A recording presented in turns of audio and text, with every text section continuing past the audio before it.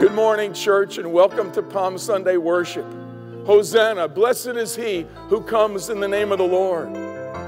You know, when that first palm worship took place, it was not in a building, it wasn't in a church, it was in the streets as Jesus rode into Jerusalem. And today we're not in the streets, but we're out off the streets in our homes. We're scattered because the church has left the building. But the church has never been the building. The church is people like you and like me who love the Lord Jesus Christ. And we, we give to Him our obedience, we give to Him our worship. We bring before Him all that we are and all that we have. And let's do that today. Father, we come in the name of the Lord Jesus Christ. We say, Hosanna. Lord, save us. At a time where there's so much need in our world, we cry out to you to come and meet us. And we invite you to come now. Come and fill this time of worship. Thank you that we don't need to be necessarily sitting close to each other. We are, in a sense, scattered, and yet our unity is stronger than ever through the Lord Jesus Christ. Lead us in worship today as we gather in the name of Jesus. Amen.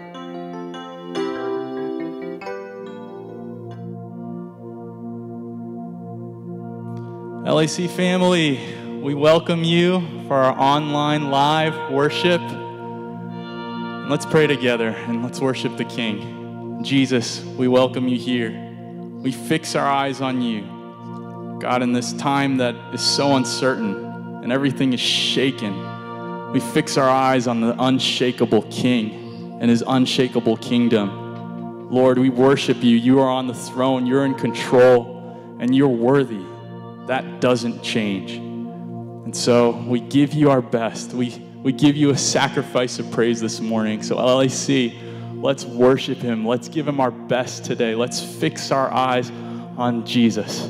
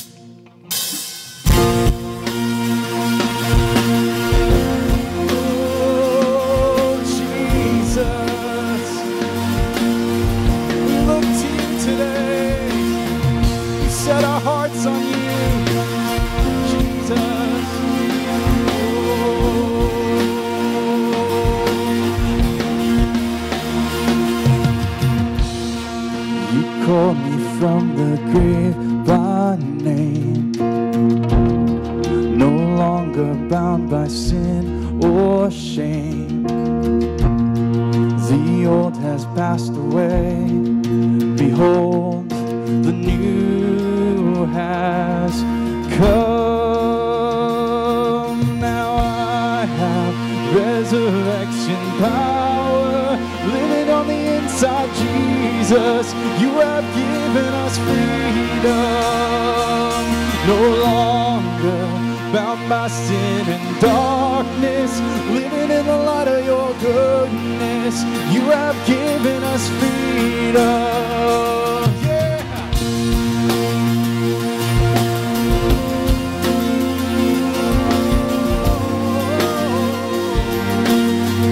The hope of glory lives in me. The hope of glory lives in me. Same spirit as a risen king. You raise my hands in victory.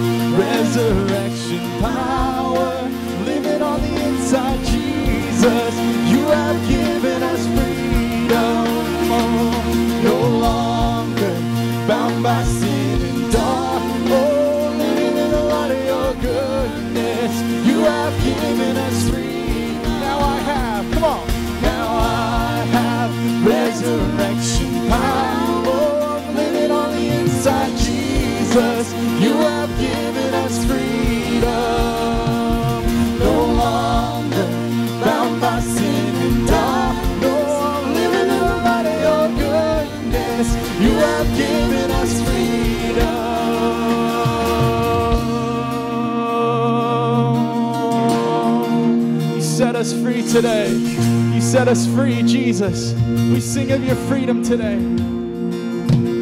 Freedom, you have given us freedom. You have given us freedom. My chains are gone. We declare today freedom. You have given us freedom. You have given us freedom. My chains are gone. Come on. Sing it. Come on. Freedom. You have given us freedom. You have given us freedom. Oh, my chains are gone. Freedom. Freedom. You have given us freedom. You have given us freedom. My chains are gone. Now I have resurrection power living on the inside. Jesus, you have given us free. Oh, longer bound by sin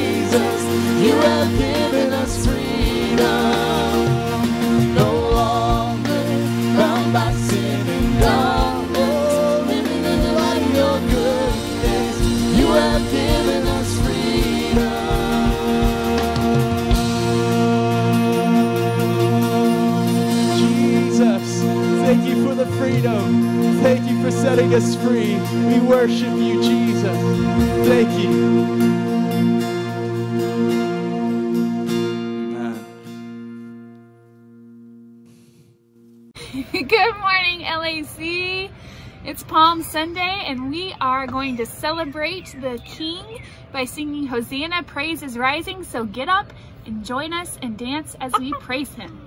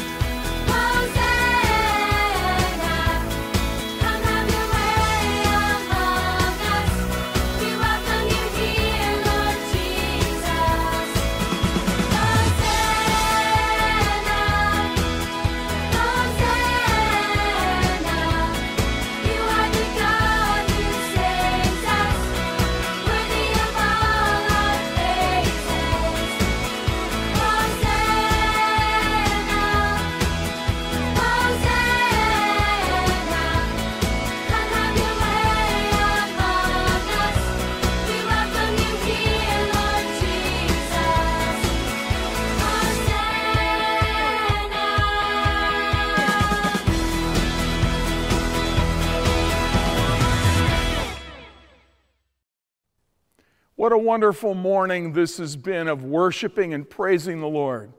I want to tell you a story. It was back in January, and the Lord spoke to me very clearly when I first heard about what was happening in Wuhan, China, and the, this coronavirus. God immediately spoke to my spirit, and He said, Fred, I'm greater than this virus, and it's going to get messy. But as you walk through it and as you lead your people through this time, declare my supremacy over this virus. He spoke it to me so, so deeply. Declare my supremacy over this virus. And of all things, a year ago, God put in my spirit to preach the book of Colossians leading up to and through Easter. And the theme of the book of Colossians is the supremacy of Christ. Now, nobody is smart enough to figure that out, that that's what we need now, and that's the book God leads us to. We just finished the book of Ephesians, and Ephesians, and now we're into Colossians. These two books were written within months of each other. They were both written in Rome. They were both written by the same guy, the Apostle Paul. And of all things, they were both written to encourage two different churches. The second one going through what we could refer to as a pandemic. It wasn't a physical pandemic like the one we're going through today, but it was a moral pandemic, it was a philosophical pandemic, and it got to be a behavioral issue in the church. Now, I want to unpack for us the book of Colossians in an overview, but we're focusing today on one verse. It's Colossians chapter 1, verse 18. In fact, only part of the verse, it's eight words. And here are the words that in everything he might have the supremacy. And it's talking about Christ. That in everything he might have the supremacy. Now, the reason Paul wrote this book was because he had a visitor, a guest, who came all the way from out of town, all the way from the city of Colossae, near the city of Ephesus, all the way down to Rome in Italy. It was the pastor of the church in Colossae, and his name, of all things, is Epaphras. We are introduced to Epaphras in chapter 1, verse 7, where we understand here that Epaphras came and informed the Apostle Paul of the good and the bad. But in the middle of the moral pandemic, Paul had a message for the church.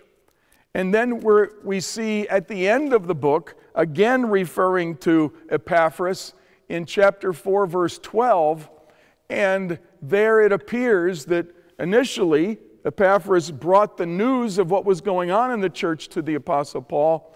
And then, after Paul writes the letter, he becomes the letter carrier to take it back to the church in Colossae. But what is the message? The message for this church that's experiencing a philosophical or what we would refer to as a theological pandemic, to the church that's experiencing a moral, ethical pandemic.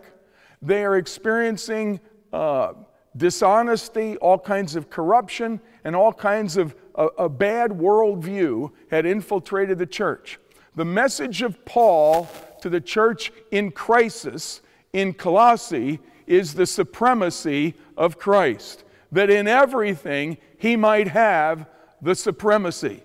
Now, when it says the supremacy, or as it says in some of our translations, that he might have the preeminence, the word preeminence or supremacy is the word that literally means to hold first place.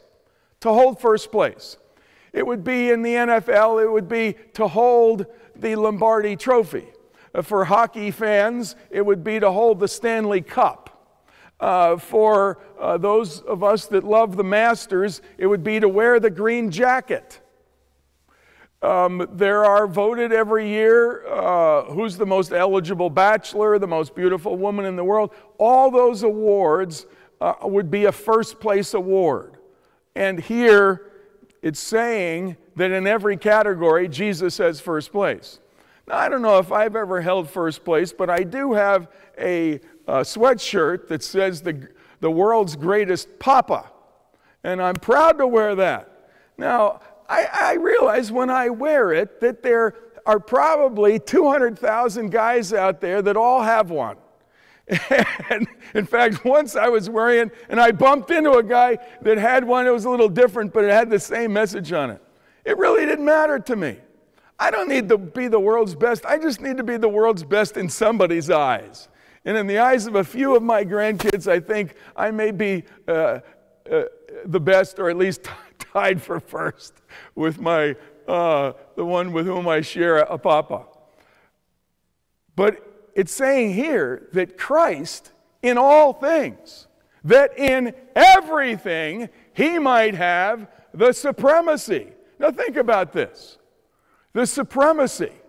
So, he might not be the most popular on every uh, college campus or in every high school, but, but he would be the one with greatest influence, the one who deserves the supremacy over every high school, over every middle school, every primary school, over, over, over every industry, over every sports team.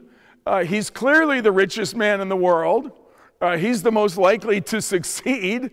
I mean, think of all the categories where Christ already has the supremacy, and the Bible says that one day, one day, it says that today Christ has been given the name, that at the name of Jesus, every knee will bow in heaven and on earth and under the earth, those dirty dogs under the earth and every tongue confess that Jesus Christ is Lord to the glory of God the Father.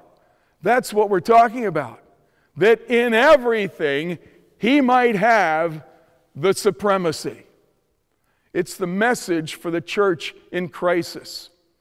Whatever you're facing, if you've already been laid off of your job, you're worried about uh, whether or not you're going to get this disease, you may already have some symptoms, or maybe you've already tested positive. What's your future going to hold? I find today more people are concerned about their eternal state. Uh, we had one of our leaders in the church. He's a man who, who has been a leader in our church for many years. He's well respected. This week, he got a phone call from a man he hadn't seen for some time. The man was 91 years old and a leader in his church. He asked uh, the man in our church, he said, um, What would you tell someone who was in a, a, a nursing home and about to, to face eternity? And our friend asked a few more questions and, and determined that the man was asking really for his own benefit. And he shared with him that Jesus Christ is the way to have eternal life. And that day, it was just this past week, that that man prayed to receive Christ and eternal life. And in his life, God became the supreme, the number one who held the, that trophy in this man's heart. By the end of the conversation, my friend asked his uh, older friend, he said, Now, do you know for certain that when you die, you will go to heaven? And the man said, For the first time in my life. And he broke down, he said, For the first time in my life, I know for certain that when I die, I will have eternal life. You see, that is the supremacy of Christ. But what we find in the book of Colossians and really throughout the entire Bible is that life works best when Christ is in charge. Now, Christ does not usurp that position of being supreme over your life any more than he usurps it over mine or anyone else. In a sense, God is a gentleman. He, he waits for permission, and, and yet he did something. And what we're going to see here in the book of Colossians in the days to come is what Christ did for us to earn the rightful place of supremacy over everything. No, Christ is the one who loves you. He's the one who died for you. You know, when we think about the supremacy of Christ and we think about what Christ has done, one of the most beautiful pictures, and our minds can't help but think of that statue that stands in Rio de Janeiro, the picture of the exalted Christ. It's a statue that's referred to as Christ the Redeemer. It's, it sits on top of the hill. It's a mountain. It's Mount Corrado. It stands tall on that mountain. The arms of Jesus on the, in, the, in the statue are stretched open wide. We all know the statue, but let me tell you the story. First of all, that statue was made by the church at a time when Rio de Janeiro and Brazil was overtaken by immorality and, and crime. There was godlessness. People were forsaking the, the faith of Christ.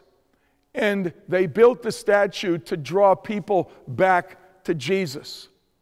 In a sense, it was built in a crisis for people to look to. You know, in the Old Testament, there was a time when there was a plague not of a virus, but of serpents. Snakes were rampant where the, the children of God were traveling, and they were being bitten, and many were dying. And God had them build a bronze serpent and to be lifted up on a pole. And where that serpent stood, if people looked to that serpent, it, uh, they, they were healed. Now, in, when Jesus came, he said, Even as they lifted up the serpent, so the Son of Man will be lifted up. And what he was saying is, what happened in one moment in time during a pan or a plague, uh, during being overrun with snakes, that's what I'm going to do for all nations, for all time. You can look to me for your salvation. And the Bible says, all who call on the name of the Lord will be saved. Now, the other factor of the Christ the Redeemer statue in Brazil is while it looks like it's made of white marble or poured concrete, it's actually covered with triangular shaped tiles. And those tiles made of soapstone cover the entire statue of Christ. In fact, there are six million pieces of tile that cover the statue. It's a picture of those of us on earth who have put our faith in Christ. That today we are in Christ from all nations of the world who have put their faith in Christ, who have called on the name of the Lord to be saved. The scripture says we are now in Christ as represented by those broken pieces. Then his arms are held open wide. He forms a cross. If you look head on, it looks like a cross. The statue uh, looks like a cross. But if you look at another, another way, and I'm going to just turn sideways here, the arms are cupped to some extent. And if you look at it from a certain angle, it's clear that the genius of the artist, the sculptor who created the, this statue, bent Jesus' arms forward as if saying, Come, come, as if he's standing there waiting for an embrace waiting for a hug. It was Jesus on earth who said, Come to me, all you who labor and are heavy laden, and I will give you rest. Take my yoke upon you, and you will learn of me, for I am meek and lowly of heart, and you will find rest for your souls, for my yoke is easy and my burden is light. No, you think of it. On the one hand, he forms a cross, and on the other hand, he is waiting for an embrace, he's waiting for a response. He sacrificed himself with no strings attached, But once he did, he did it to reach out to you, and he did it to reach out to me. It's a picture of the reaching of God's love and the sacrifice he paid to demonstrate that love. Now, the next part of the story of Christ the Redeemer is that both hands stretched out are holding items. In his right hand, Jesus is holding the cross, that which Jesus chose. He said to the Father in Gethsemane in the garden on the night before he was crucified, He said, If possible, let this cup pass from me, but nevertheless, not my will, but yours be done. No, Jesus chose the cross for you and for me. It was his choice to lay down his life or to walk away from it. But he chose to voluntarily sacrifice himself for you and for me on the cross. But in his left hand, Christ the Redeemer statue, Jesus is holding the globe, the world. Yes, the whole world is in his hands. But it's also the fact that when he chose the cross, he chose the world. He went to the cross for the sake of the world. And the same hand uh, that reached out for the cross reached out to take your sins. And the hand that reaches out to the world is there offering you forgiveness, offering you redemption, offering you a new beginning. For Christ to become supreme in your life, for Him to have first place in your life, you need to give Him your mess. You need to give Him your broken pieces. The very fact that this statue is covered not with perfect pieces, but with, with triangular shapes, jagged edges. It's a picture that God takes what we've given to Him and He takes us in all of our imperfections. No, the hand of Christ is reached out to take the cross representing our sins and the world that He's waiting to redeem, and those hands are extended to you. The statue is tall. It stands about 98 feet tall. But the arms are stretched open wide, uh, wide about 92 feet wide, almost as wide as, as Christ is tall. His arms are stretched open wide to you. And it was about 12 years ago that 100 million people voted on what ought to be declared the seven wonders of the world. Well, certainly the Great Wall of China, and there were other good selections, but among them was Christ the Redeemer, one of the seven wonders of the world. Well, that's fine, it's appropriate, but above the Great Wall of China is the fact that when Christ died on the cross, he tore down the dividing walls between nations, between people and himself, and people from each other. No, the Lord is supreme, He has first place. Someone said, and appropriately so, the one who has Christ has everything. The one who has everything except Christ in reality has nothing. And the one who has Christ and everything has no more than the one who has Christ and nothing. Think of it that in everything he might have the supremacy. I think of the words to the hymn written by St. Patrick. St. Patrick has been somewhat misknown, but St. Patrick was really not Irish, he was British.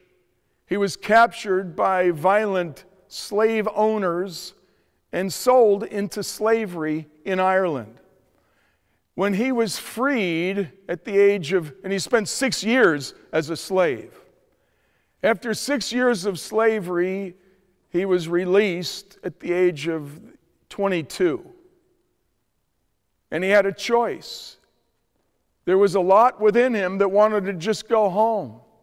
But first of all, God said, You need to forgive. If you don't forgive, you're never going to be free. And he forgave. He made a choice to forgive those that abused him. And then God spoke to his spirit and, and, and he gave Patrick a choice. You can go home and I'll bless you. But if you want an, an adventure, if you want to see the supernatural, stay here in Ireland. And he did. He invested his life in reaching people for Christ in Ireland. In the course of his life, he led tens of thousands of people to Christ. He planted, and I, I researched this several times, and in several different sources, it all says the same. He planted not one church, not 10, not 20, not 100. He planted 365 churches. 365 churches all across Ireland.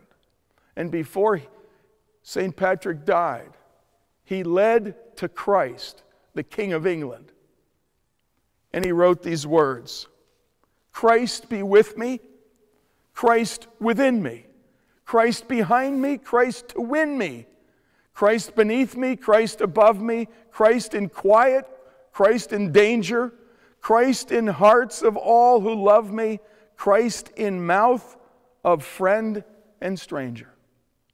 My friend, I declare over you, I declare over me, I declare over our community, over Atlanta, over our nation, over the world, that in everything he might have the supremacy.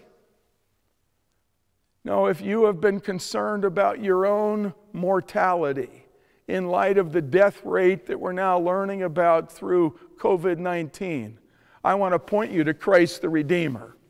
His arms are stretched out because he was crucified, and yet they're reaching out to you. In his one hand, he holds the cross because he chose the cross, but in the other, he holds what represents you. He holds the world. And won't you today open your heart and receive Christ? Receive the supremacy of Christ in your own spirit, in your own life, over your, your present, over your future, whatever it may hold, over your family, over your finances, over your resources, over your career. No matter what age in life you are today, I declare over you that in everything he might have the supremacy. There's no greater blessing. I want to give you an opportunity right now. As we have heard the word, now it's time to respond to the word. And I want to give you the opportunity. Jesus said, Come to me, all you who labor and are heavy laden, and I will give you rest. God has warned us about this virus long before it has come. And Christ is supreme over this virus. Christ is greater than COVID 19. But in these circumstances that we're facing, God may have used the circumstances of these days to draw you to a full surrender of your life to the supremacy of Christ. Would you pray with me right now? Make this prayer your own. I'm going to say it so you can repeat it right where you are. Father God, I declare the supremacy of Christ. I come to Jesus and I open my heart I wasn't made to run my own life independent from God, and today I repent. In some ways, I've made a mess of things. But Christ came to take all the broken pieces of my life. Christ came to give me rest. And I open up the door of my life and I receive Christ in me, the Redeemer. Forgive me. Give me a new beginning. Restore my life. I receive right now forgiveness. I receive the supremacy of Christ. I put my life under the supremacy of the beauty of Christ and the redemption of Christ. Amen. Church, at this time, we're challenged in many ways, but God has been so faithful. God is stirring up shepherding like we've never seen it here in our local church and in churches all over the world. People are staying connected through, through uh, their devices and through much technology. And God bless Lilburn Alliance Church today as we give our offering to the Lord today. I want to just bless you for those that are giving through direct deposit or online giving or through the mail. Father, we pray that you would deliver us in this time from fear, that our, we would not worship with a clenched fist, but with an open hand, that we would continue to give to you generously, even as you have given to us. Father, we bless each other. We pray that you are our provider, and we ask you to provide for all the needs of our church family. And Lord, that you would receive the glory for those offerings that are given today and through the week to the honor and glory of Jesus Christ. Amen. Let's continue to worship him. The sun shall not smite thee by day, nor the moon by night. He shall preserve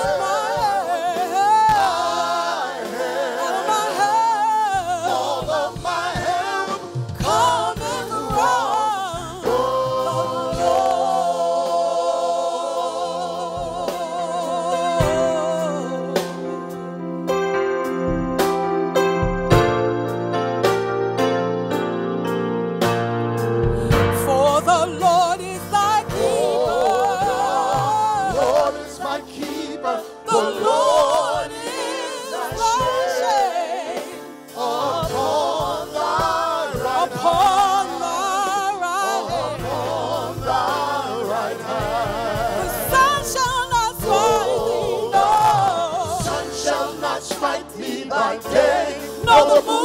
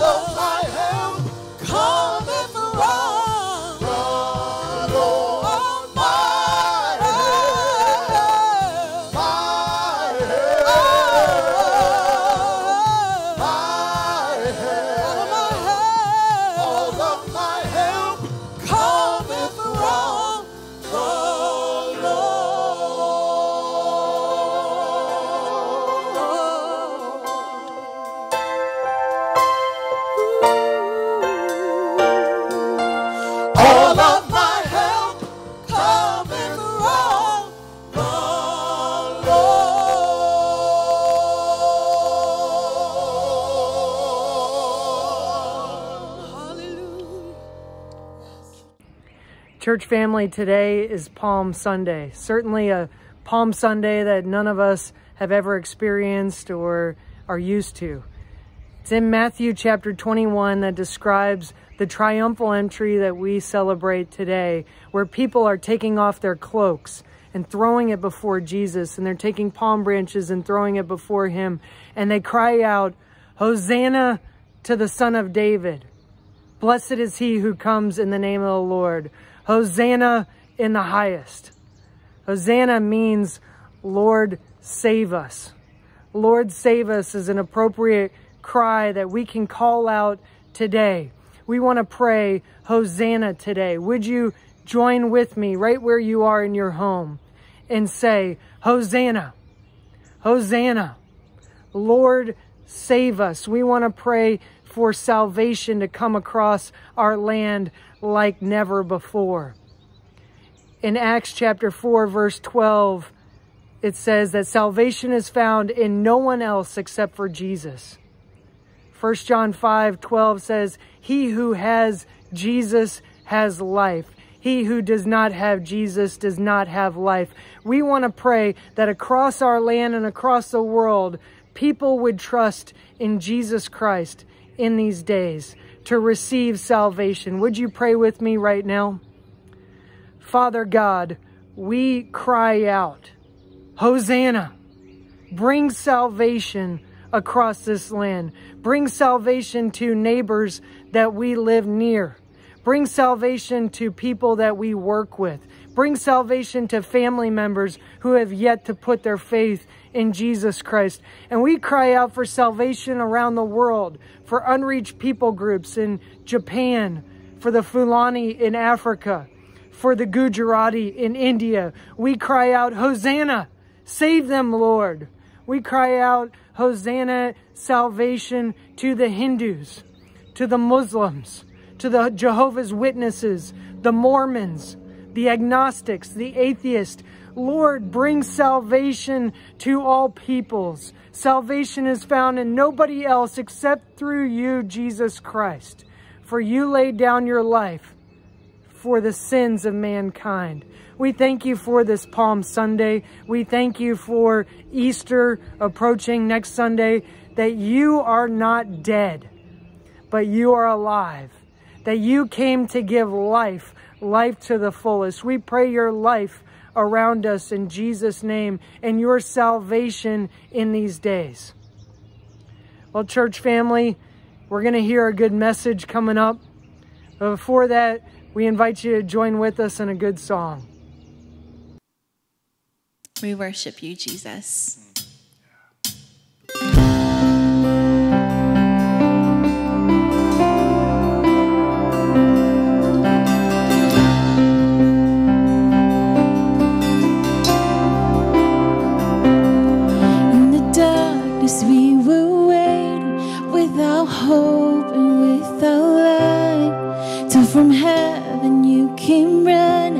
There was mercy in your eyes to fulfill the law and prophets. To a virgin came the word from a throne of endless glory to a cradle in the dirt.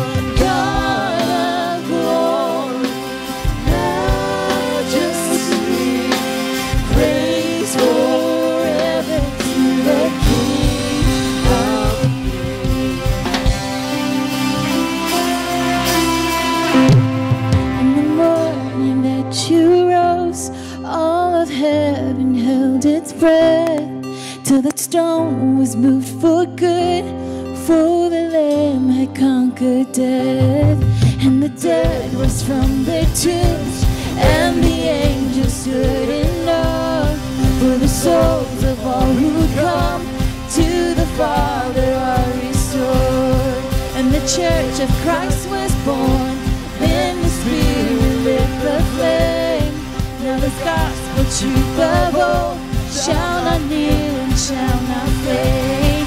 By his blood and in his name, in his freedom I am free. For the love of Jesus Christ, who is resurrected.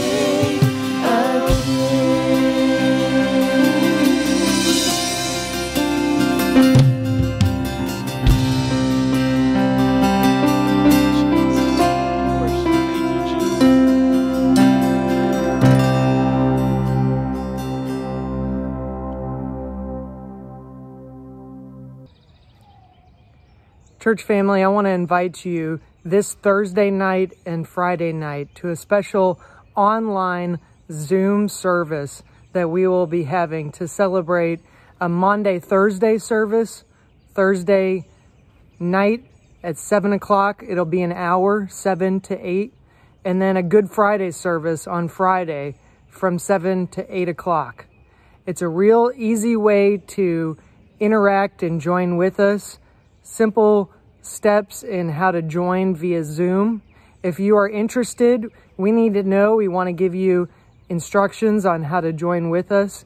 Email the church office, LAC office at Lilburn, the number four, Jesus.com. Again, that's the letter L A C, and then spell out office at Lilburn, the number four, Jesus.com. Email that, and we will give you simple instructions on how you can join via Zoom. We hope to record this and broadcast it on Facebook Live, but would you join with us this Thursday night and Friday night from 7 to 8 o'clock? It'll be a special time to join together.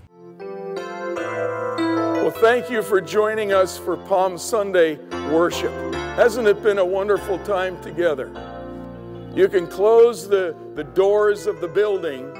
You can put us on lockdown and keep us in our homes, but you can't touch the church of Jesus Christ because we're not bound simply by being in proximity to each other. We are bound across uh, the streets and from home to home through the wonderful bond we have in the love of Christ. Church, receive the blessing this morning. The Lord bless you, Lilburn Alliance Church, and keep you. The Lord make his face to shine upon you and be gracious to you. The Lord turn his face towards you and give you peace. In the name of God the Father, Son, and Holy Spirit. Amen.